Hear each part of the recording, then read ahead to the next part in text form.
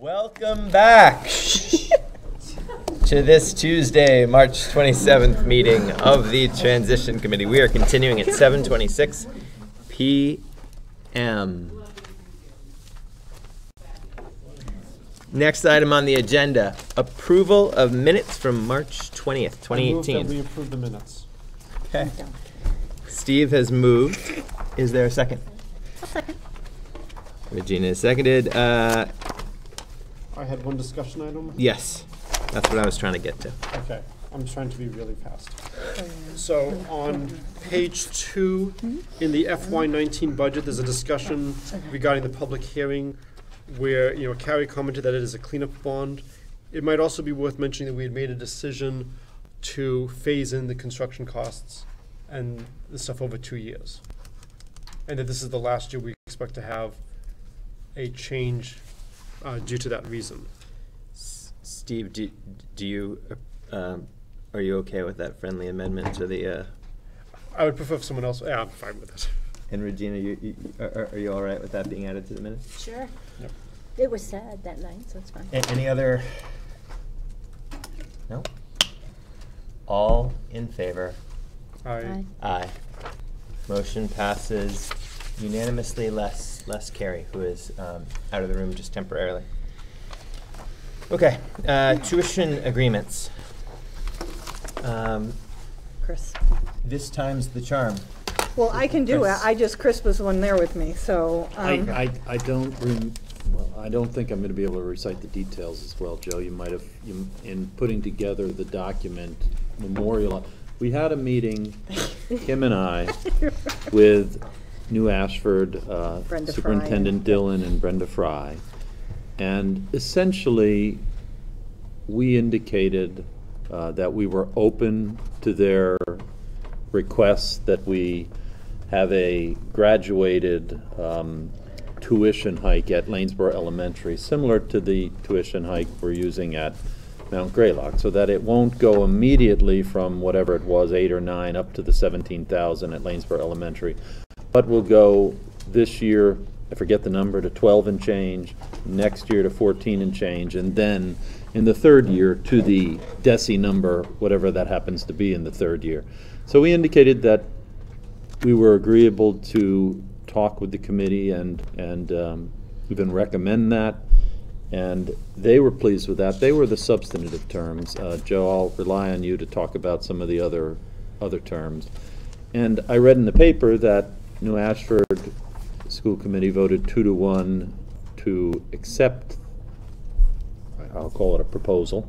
And so now it's back on our table to talk about it and see whether we're comfortable with it as a committee as a whole. Yes, the other, the other changes to what we last saw as far as the tuition agreement um, between us and the town of New Ashford, the other changes were, uh, that's six. Well, within bullet four, um, there's recent DESE published per pupil rate for Mount Greylock Regional School District as of January preceding the school year, less transportation, special education costs per pupil that are included in that DESE published figure. Um, DESE has recently updated the way that it publishes per pupil figures, and so we need to make sure that we drop out um, uh, costs that are actually borne directly by the town per the agreement, so transportation and special education costs um, that are described later in this agreement. Um, Six, So six was essentially the same thing, so what has happened in the past is the tuition rate for New Ashford and Hancock has been the tuition rate in, within the tuition agreement, and then costs above and beyond that for special ed 504, um, adapted devices, so on and so forth, have been billed back to the town using the school choice sped increment form. Now that Desi and I, uh, Chris Lynch had talked me through, the, the per pupil rates include special education teacher costs and um, transportation costs, which they hadn't in the past. So worked with um, the Dupreys and just essentially the, the base rate for the tuition already has their special ed costs. So those costs will no longer be a build back service. What will be bill- billed back is costs that require us to hire additional staffing because of, so if we took out students and only serviced what was in the service delivery grids of our, our town students. If we had to increase service providers, if we had to purchase additional adaptive equipment, if we had to contract with outside providers, those costs would be billed back to the town, or those towns would enter service agreements with the providers, um, and the providers would pro- do services here. Um, and so we have a, you know, right now, like, if we have somebody uh, utilizing Willie Ross for an FM system, the towns of Hancock and New Ashford sign their own service agreements, so it does eliminate, eliminate um, additional billing for us, so there, so it works well. So that's six from counsel. Mm-hmm. Uh, Re- Re- Regina, on that? Would that then also um, ensure that their special education director was more involved with what was going on with their students? That is correct. So the, we, um, as the host school, s- hold everything in our eSped system, and so um, all the invites will come from us, but they should be at the, at the table, making sure that the services are in there, so they'll know what teeters over the fence, and they can't deny the service because it's going to teeter us over the fence of staffing, but they'll be aware of going back to the town that they would bear those costs, so. And then, and then the, the last one is, is nine, um, which is, uh, the term of this agreement shall automatically extend for an additional year at the close of each fiscal year unless either the district or the town elects to not extend the agreement and notices the other party in writing on or before March first of the end of that fiscal year. So in other words, this is an agreement that will never put us into a position where, um, where we're in the final fiscal year of the agreement and we need to get a new agreement signed and agreed to in time for the budget vote, um, and in time for people to plan for, for school and for capacity and for, for everything else come September. So this agreement essentially says, we're always gonna have at least two years to refigure out something if, if it's necessary.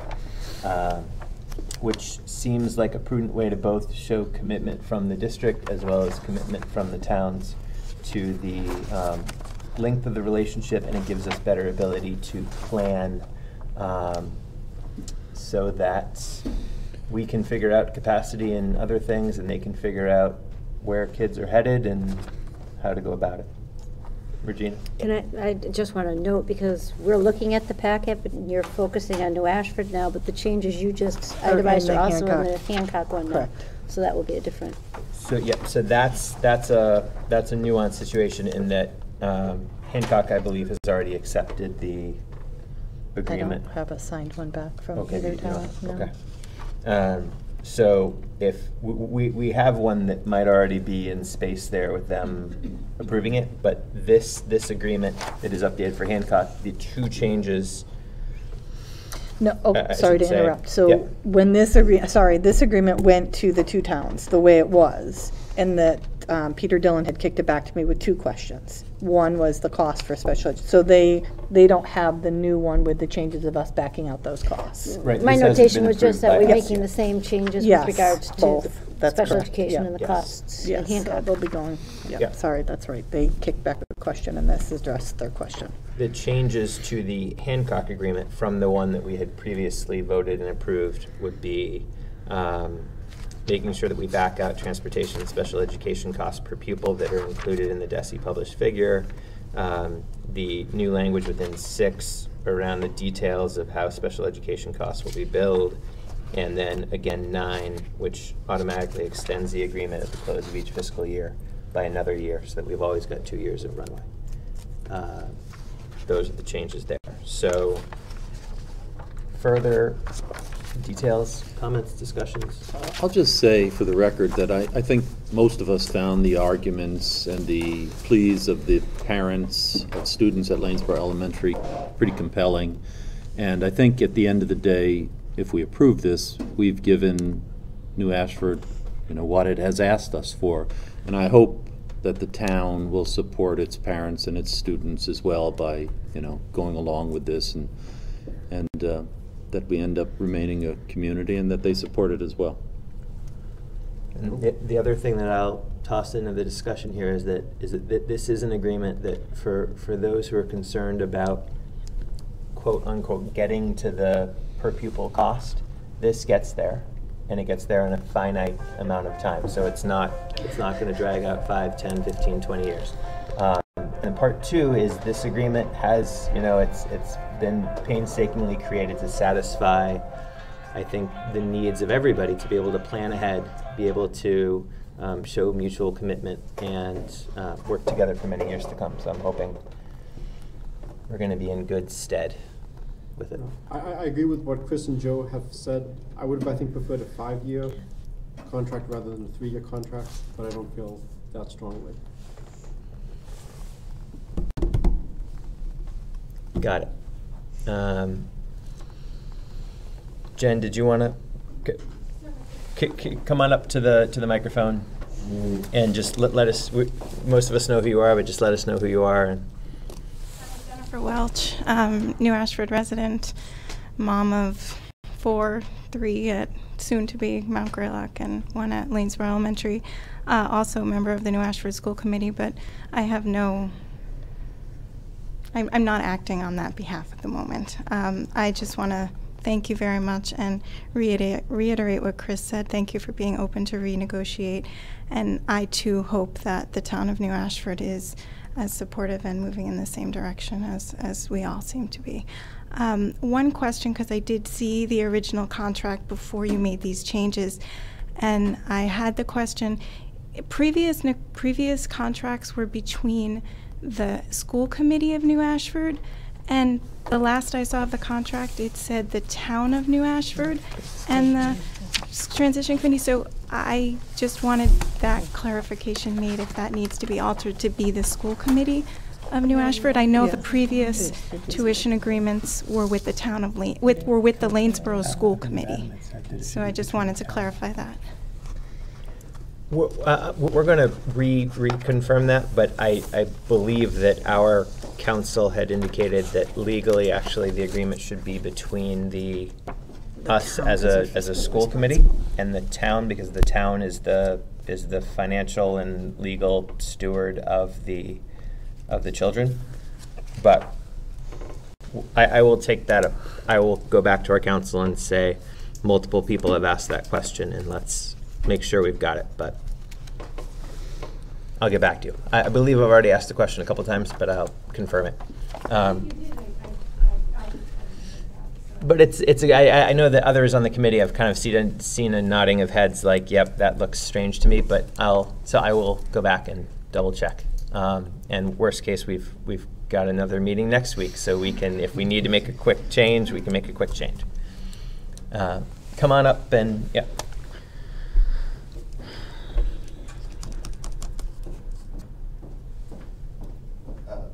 My name's JJ Filio. I have two elementary school children, uh, actually that split time between New Ashford and Lanesboro. But my question is, if for whatever reason the town of New Ashford does not approve this proposal, uh, and a parent so chooses to send, or still wants their child to go to Lanesboro or Mount Greylock, is there an option for parents of that town to pay the difference between the agreed-upon price and,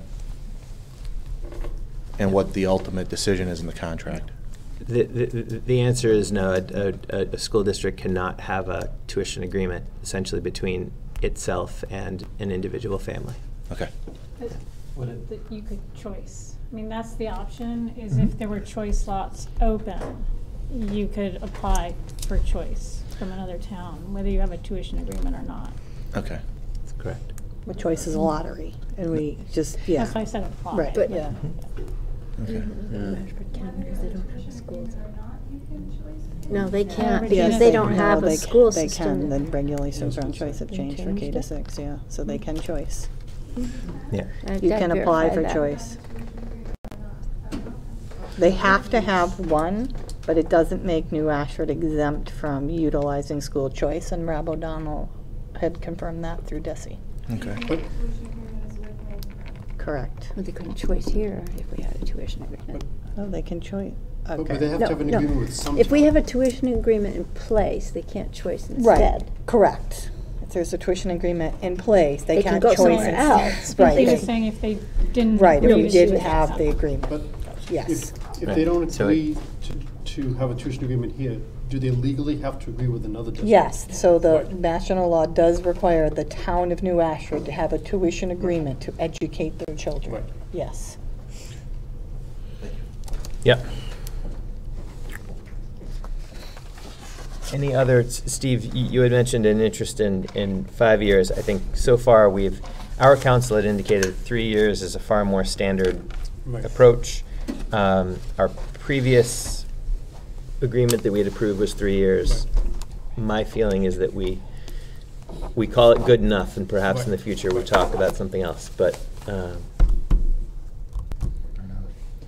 does anybody have I'll move that we accept the tuition agreements as uh, newly written and in our package with, is it, do we have them both? Are we doing both New Ashford and Hancock? Yes. With Town of Hancock and the Town of New Ashford, with the one caveat being we'll confirm whether the signatory is the town or the school committee. I'll second. Any discussion on that? All in favor? Aye. Motion passes unanimously. Thank you all for your persistence. Okay, um, preliminary, very preliminary discussion of 2018, 2019 school calendar. Um, It's a complicated issue this year. Yes. It's a complicated issue because it is subject to negotiation, and negotiations are ongoing. Um, But you know, we we would traditionally have started thinking about this a little bit earlier. And um, I think to whatever extent we can, we need to force the, force the issue to try to get that doable here. But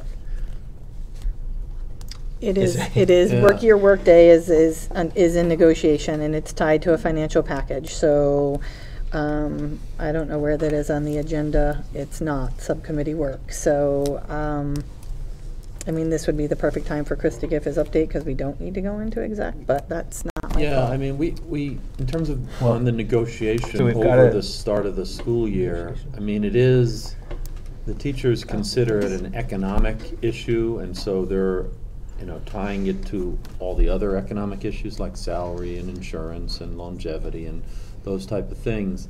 We can ask next time whether maybe we can carve out, you know, the school year and just talk about that. But when it, you know, the, the, the schools have different numbers of days.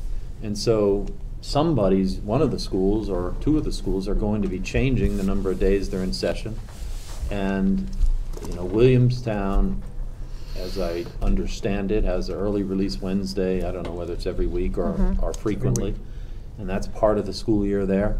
And so that's part of the negotiation too. And I think it would be a little naive for us to expect them to say, okay, we're just gonna work on this calendar and agree with you guys on a calendar when we don't know, we haven't, we have no finality on salary, insurance.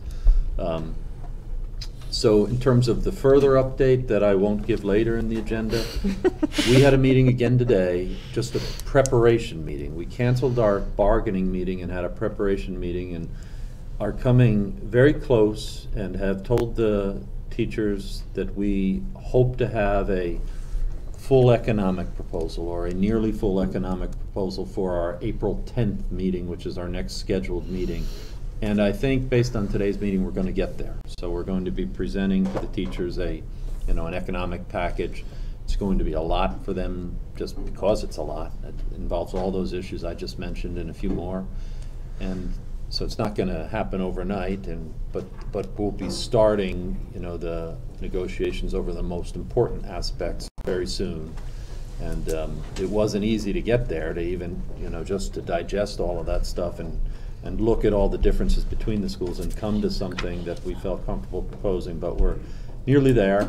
And, um, and so we'll be putting that on the table very soon, and then we'll report back to the school committee when, you know, and go into executive session when we have things that we need approval for, and, um, but I don't know about that's, you know, we can ask, we can talk to them about it, and uh, we can talk, you know, through Kim to our principals as well about some ideas for it, but, you know, I'd love tell you that I think we're gonna be able to get to a school year before these other things.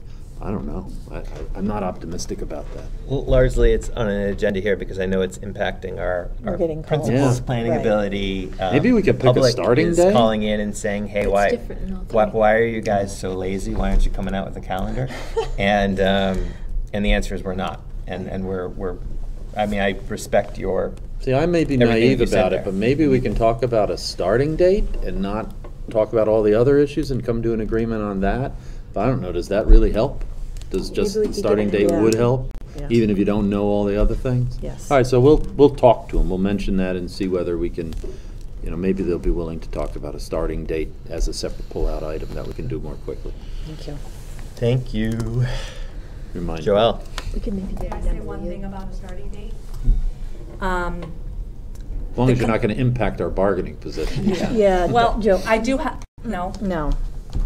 No, I Never know, mind. I know what Okay. that is. Okay. You can ask them later. Yeah, Okay. sorry. You are not subject to this beautiful open meeting law with, with, yeah. Anything else on that topic? That's it for Okay. the negotiation update. All right. And I know that the three of you wanted to be able to, to get back to your planning for tomorrow, so, um, by all means. Thank you. I just, on, on, just for the negotiating piece of things, I think that everyone has to understand because it's impacting, it's not an impact of everything, but because the process is, they're, they're negotiating as a whole now. So the MTA is making decisions at a whole. So Mary has a schedule that has to be built, but because it's a change in an existing contract, it impacts that. Joelle has a request that impacts West, but it impacts now the whole MTA. So the, the conversations have to be about how is this going to impact the entire bargaining unit of the new, if they all meld together, the new Magia, you know, and so, um, you know, the requests to, for that they, that they have with the calendar, I have those, I can forward them. Um, Mary's scheduling, you know, we have that, we forwarded on, and so they're taking requests as a whole. So it's just, it's different than how the three of them have had to function before, and so, um, But we are getting there. Um, But, you know, the MTA has been clear that anything that's going to impact, well, anything, is going to be discussed now at the, the new negotiating table, so. All right. Should we move on in the agenda? Okay. Uh, discussion of draft lease agreements. We have drafts, um, that were included in Can your. I just interrupt for a second? Sure. I need to excuse myself, but before I go, could I skip to an announcement? Is that okay? Anybody opposed to that? Nope. Nope. So, um, in case you haven't heard, our esteemed chair has been named one of the 40 under 40 in uh, Berkshire County, which is the Berkshire um, Community College Foundation. And um, there's a piece about it in the Eagle. And the panel of judges, this is the criteria. For career path, how fast has the individual risen? How unusual is their ascendancy? And then commitment to community, does the individual volunteer and in what capacity? So congratulations. Thank you. Um, It's really great, and um, there's a very nice picture of all, all the 40 under 40s. And, um, yeah, you're I above just the think it was 40. great.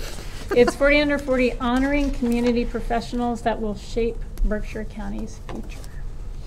Good job, Becky. Just being under forty deserves I'm barely, I'm just scraping in, I'm just scraping in, but thank you, thank you. All right, um, thank you, Carrie. Hope you feel better. Right. Seventy over seventy. I can speak to the leases. Yes, Okay, leases. so the lease agreements are in the packet. Um, we, had I'd worked on them with, um, Chris very early on, then with Russell Dupre. I've then sent them back to the towns. KP Law Office has looked at it. So the Lanesboro, you're seeing the red lines. I sent the red lines to the, to town manager of Williamstown. He saw the red lines, he accepted the red lines. So the Williamstown lease is in a format that is, if acceptable to us, we then bring it to the, to- to the town for them to sign off on. The Lanesboro ones, um, we have to accept the red lines in order to then accept the Williamstown ones, so that's why one is before the other. So, I don't expect that everyone has had the chance to look at this, but KP Law, which is the law firm that represents the town of Lanesboro, um, they're the ones that went through and made, made the edit. So um, I looked at it and it's manageable from our, my perspective, but again, I'm not a lawyer and I don't do lease agreements, and so um, I don't know our next steps, but this was what we, one of the things that we're working on when I'm meeting with the two towns, knowing that this needs to be in, um, in place for July one. Um, so I, you guys can take time, you know, to digest and then we bring it back to the next meeting. But focus on what the red lines are because the red lines were accepted by Lanesboro, but if we don't accept the red lines, then we have to cross out on Williamstown ones what, what we were recommending as changes. So that's where we are with the lease agreements. Thank you. You're welcome. for being on top. Now, yeah, so these need to be executed prior to July one. Um, but you've got the drafts here, digest them, and then at another committee meeting coming up, um, we will be, uh, we'll eventually be voting to authorize us to enter into them. Um, and, uh, it doesn't come before town meeting, that already happened during special town meeting authorizing, um, the town of Williamstown to enter into, and the town of Lanesboro to enter into um, their lease agreements, but this is kind of a, just a necessary step in the process. And thank you to superintendent for moving us on that with both town halls. Anything on it right now? So right now, it's mostly, it needed to get into the packet, we needed committee members to start looking at it. We'll keep on going. So I think, Chris, you were the last one that lays, laid eyes on it. Russell saw it. It's Yeah, it going to looks, uh, it- KP. it- So if you just want to focus on the red line when you have a chance and, I'll try um, to, yeah, yeah. and then, so, Great. great. Anything else on that item? Okay. Uh, Negotiations, is there anything else that you wanted to Nothing else. Uh, Regina? Nothing? Okay, Kim? No, I, like I said, I just wanted the principals to understand that, like, the process has changed, and I understand that, like, we still have schools to move forward, but the MTA is meeting with us as they, you know, said, and, you know, so it's just, it's a little different for us, and so, I do have one thing, we have started with the ESPs as well. that's correct, the paras. That's right, The yeah. we support have. unit. So we had a good first meeting with the, uh, you know, the paras and the custodians, and are hopeful that one will move along pretty quickly. And Regina and Kim remind me about the, you know, school year opening day, so that I remember to bring that up at our negotiation session. Got it. Anything else? Good. Um, Superintendent search, um, next Thursday evening, fifth, our, our meeting will be used, uh, for those finalist interviews and selection. So, um, that's the only update there that I've got. Good. Fifth. Anything else? I Al? thought we were gonna review the questions, we won't hear the questions until that meeting? That's correct. So w- w- n- we would Fine. not normally or ever reveal all the questions to the, to everybody in the world prior. No, not even To to the the, not interviews. even to the committee? Well, with the committee, the problem is, is it would need to happen in an open meeting in public. So people have sent questions to me, and I have the MASC questions. And then, uh, but I can, I can tell you, not a single question is, has been removed from what was submitted, so we're in good shape. As far as, if, i- i- if you know what you sent me, it'll be there. Six o'clock, the fifth? Yes, six o'clock start time. That's open Yeah. to the public.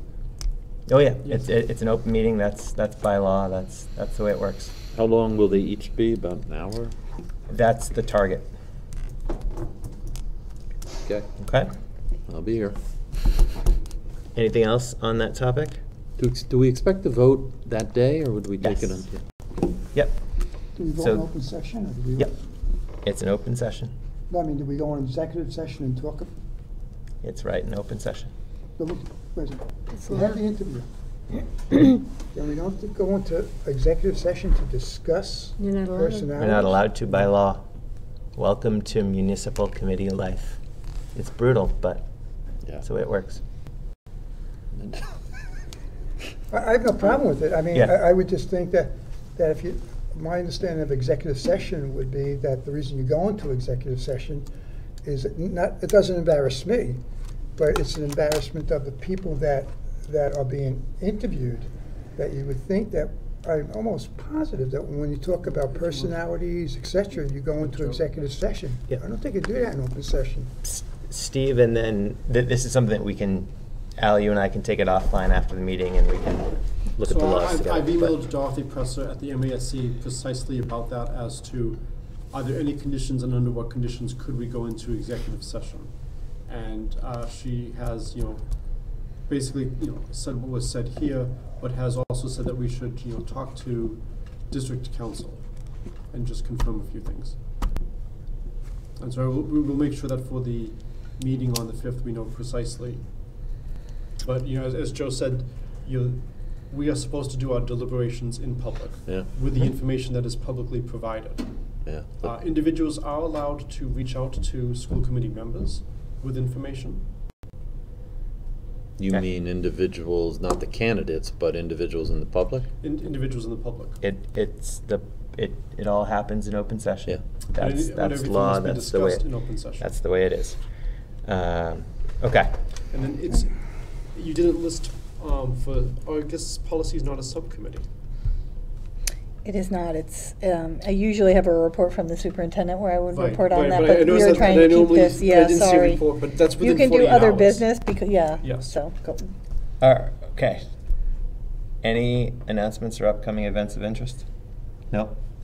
Um, Other business, I did not anticipate an update from policy, but if you'd like to give a quick update. Yes, well, this is within forty-eight hours, uh, Okay. because Kim and I did meet within forty-eight hours of now. yes. Um, Who was the representative from MASC? Pat Korea? And it was a extremely productive meeting, you know, Kim was extremely well prepared in terms of boom, boom, boom, boom, boom, just going through everything. Took us about ninety minutes to go through A through L. And we will be advancing a couple of things at some point in the near future, just aligning all of the districts to mesh with MASC, as well as taking into account the unique specialties that make us us. Okay. So policy is done. It's ready to come forward. I just sent the edits. Steve was in there So we can that. throw some hats up in the air, some confetti, we can. Yeah, I got another Put only check. one I've got, down, my that's bucket list is getting smaller. Oh, I thank just- you. All right. Um, upcoming meetings tomorrow night, Williamstown Finance Committee. That is posted as a transition committee meeting in case Mhm. people want to want to come. But um, I think we're in good shape as far as the presentation con- is concerned. April second, uh, Lanesborough Finance Committee, same thing. We will post that um, in case we get a quorum. And then April 5th, next week, next Thursday, is our next meeting of the Transition Committee. And then after that, we'll have a two-week break. Uh, We don't need the executive session, correct? Do not, not for negotiations. Would We adjourn. anybody like to, Steve has moved, I second it. Al has seconded, all in favor? Aye. Aye, It's aye. We are o'clock, so I can adjourned, um, to my aye. Uh, Chris had a concern. We're adjourned at 7:59 I have a PM. concern, or I have concern.